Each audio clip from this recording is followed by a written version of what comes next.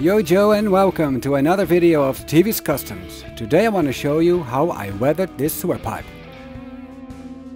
First I painted the pipe in Typhus Corrosion, which is a technical paint. And now I'm going to apply a nice layer of Mournfang Brown, which I have to shake first of course. That's better. I don't paint the entire surface in Mournfang Brown, but I focus the color a bit so you get this spotted look. And I tried to make it look random, so all those times that I painted camouflage patterns really pay off now.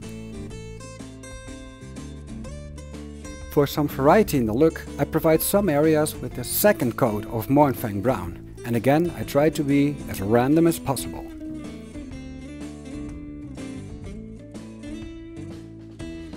Next, I mix in some Fire Dragon Bright, which is a very bright color of orange as the name suggests. And I cover some of the Mournfang brown areas with this new mix. Again, randomness is what I strive for.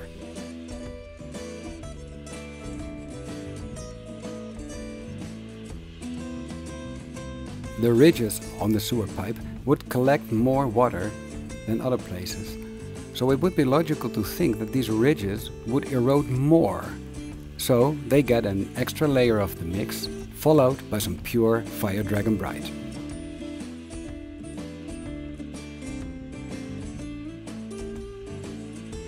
And then I put some pure Fire Dragon Bright on other spots on the sewer pipe.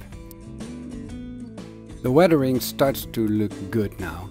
And all I have to do now is touching up my previous work just by any color I seem fit. Some places need some more orange, some places need some more brown, some places need some more mix. Just do whatever feels right and make it beautiful. You could call it done now, but I just want to give it a little bit more, a little extra. So I take out my Leadbelcher and I'm going to stipple it as random as I can.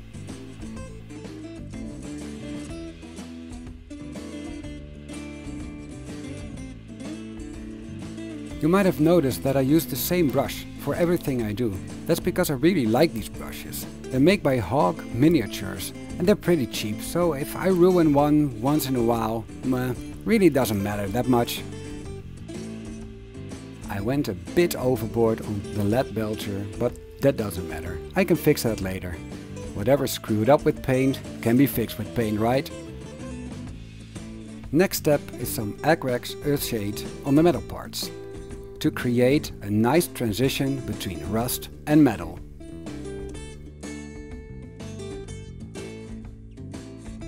And this is how it looks now. Time to let it fully dry and return to this paint job tomorrow. I'm not quite happy with the metal parts. I still think it's a bit too, too much.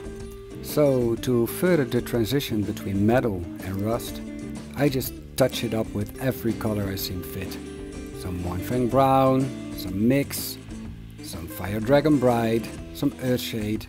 Just, I use everything to make it look good.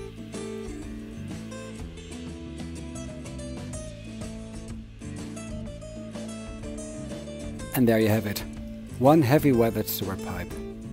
Combined with the weathered power armor, this base is starting to look great. That stuff's been there for quite a while. Now all I have to do is paint all the gooey stuff on the bottom, which I'll be showing in the next video. Thanks for watching, and as always, stay safe. Bye bye Joes, bye bye.